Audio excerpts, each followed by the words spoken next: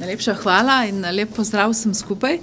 Najprej, eh, če mi dovolite, bi izrekla še javno čestitko novemu eh, gospodu ministru Hojsu na Ministrstvu za obrambo. Ta čestitka je zelo iskrena tudi zaradi tega, ker sem slišala že v njegovem uvodnem nastopu na odboru za obrambo, da se bo boril za obrambni sistem in da bo skrbel za to, da ta sistem avtonomno povezano seveda in vojaški in zaščitno-reševalni del delujeta skupaj v prihodnosti.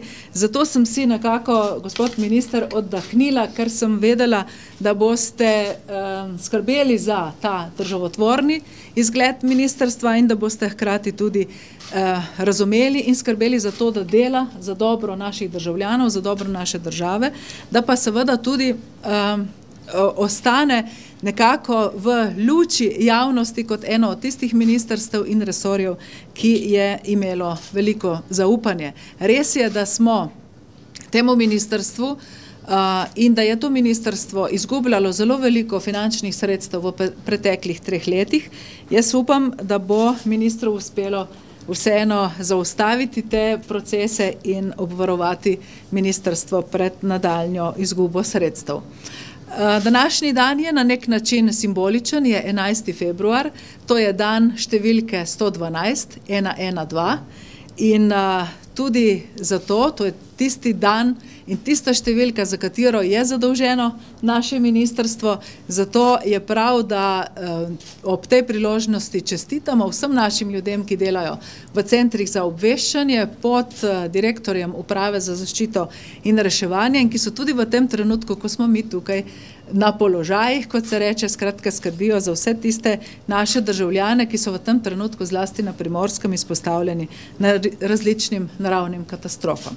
Ob zaključku svojega tri leta in tri tedne dolgega mandata bi povedala, da sem eh, zadovoljna, ker je to obdobje bilo uh, dokaj strokovno obarvano. Veliko smo se ukvarjali z profesionalnimi vprašanji modernizacije in razvoja slovenske vojske. Veliko časa smo posvetili preventivnim dejavnostim in operativnosti, zlasti pa odzivnosti sistema varstva pred naravnimi in drugimi nesrečami. Uspeli smo uh, opraviti nekaj ključnih aktivnosti, ki so za spremenjene okoliščine, v katerih oba sistema delujeta zelo uh, pomembne. Naprimer, izvedli smo strateški pregled obramnega resorja, na tej podlagi potem v državnem zboru uspeli za sprejemom resolucije o strategiji nacionalne varnosti, pa resolucije o splošnem dolgoročnem programu razvoja in opremljanja slovenske vojske. Uspeli smo tudi dopolniti zakon o varstvu pred naravnimi in drugimi nesrečami in pripravili smo že ustrezne dopolnitve in spremembe zakona o obrambi. Ta del, eh, torej izvedbo, sprejem zakona o obrambi spremenjenega, sem pa prepustila, spoštovani minister, vam. Skratka, eh, vi boste tisti, ki se boste zdaj borili za to, da dobite dve tretjini glasov v parlamentu za podporo spremembam zakona o obrambi. Ker se tiče teh kvantitativnih številk, naj povem, da nam je v našem obdobju uspelo obseg vojske povečati iz približno 7100 na 7600 pripadnikov in pripadnic, da smo uspeli vojsko pomladiti, da smo uspeli zmanjšati število častnikov, da smo izboljšali razmerje med častniki, počastniki in vojaki tako, da je sedaj razmerje Eh, torej število poklicnih vojakov bistveno večje, kot je bilo v preteklosti, da je bistveno zmanjšano število vojaških uslužbencev in civilnih oseb. To pa v bistvu daje tudi za naprej novemu ministru možnosti, da bo lahko res delal vse bolj na profesionalizaciji in pa na povečevanju strokovnosti in specializacije v uh, vojaški obrambi.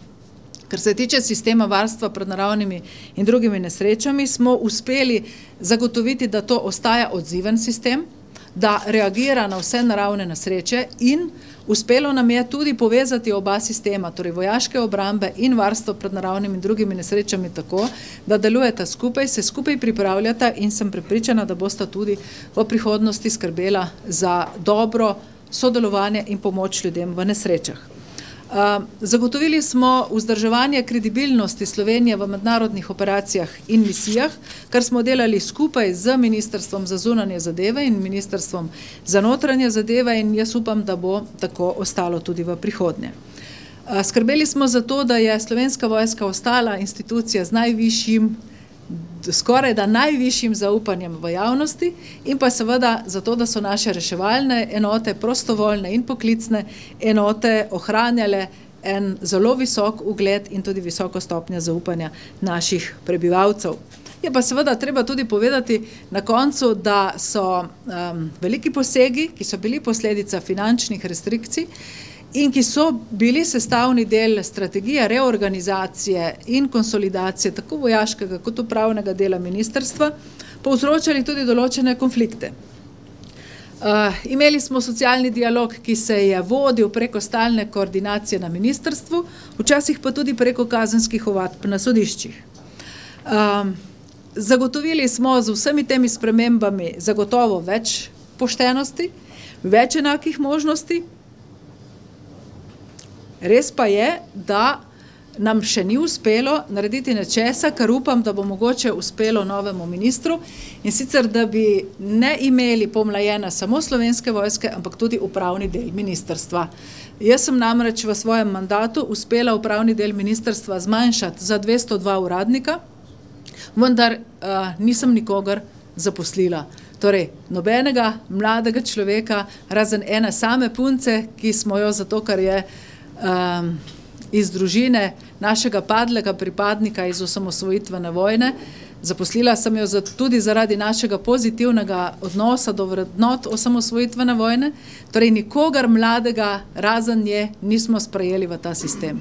Jaz upam, da bo v prihodnosti kljub vem napovedanim restrikcijam v javnem sektorju uh, v zvezi s tem več možnosti za mlade ljudi, za pripravnike in da se bo pomladil tudi upravni del ministrstva. Čisto na koncu, spoštovani kolegi, kolegice, tudi vam hvala za to, da ste nas spremljali, kritizirali, opozarjali na napake, pomagali včasih, da smo raziskali kakšen problem, ki se je zgodil v tako velikem sistemu, kot je sistem skoraj da 9000 zaposlenih in uh, jaz vam vsem skupaj želim, da bi bili enako dobrodošli, kot ste bili vedno na tem ministrstvu tudi v prihodnje. Srečno.